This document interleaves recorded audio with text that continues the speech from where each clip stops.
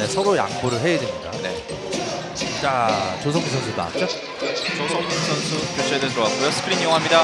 외곽 네. 석점 들어갑니다. 아, 이게 나오자마자 지금 차바이 선수를 스크린을 많이 걸어주면서 조성민 선수로 하여금 아, 수비 완전히 따돌렸죠? 차바이 선수가. 약 3분 정도의 시간만이 남은 상황에서 4득점에 이르고 있는 창원 LG고요.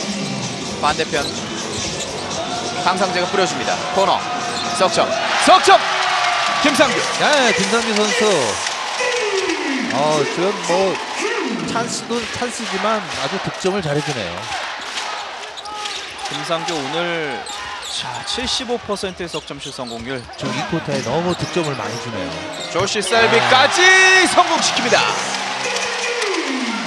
51대 34 2점 차로 출발했던 이 2쿼터인데 점수 네. 차이가 꽤 많이 벌어졌습니다. 28대 26에서 시작을 했었죠.